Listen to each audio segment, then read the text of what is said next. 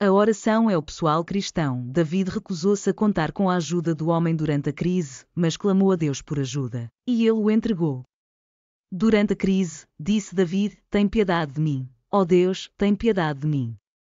Porque a minha alma confia em ti, e à sombra das tuas asas farei o meu refúgio, até que estas calamidades passem.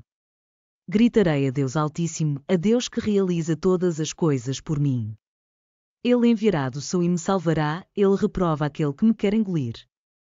Deus enviará a sua misericórdia e a sua verdade. Salmo 57, 1 ou 3. Lição. A oração é um instrumento muito importante que os cristãos devem usar todos os dias. Devemos abençoar a Deus durante as orações e devemos apresentar-lhe os nossos pedidos. Entretanto, durante as dificuldades, não devemos chorar a Deus apenas para expressar as nossas dores, mas devemos chorar para convidar Deus para as nossas situações. A oração é basicamente necessária para convidar Deus a assumir os nossos problemas e fornecer-nos soluções.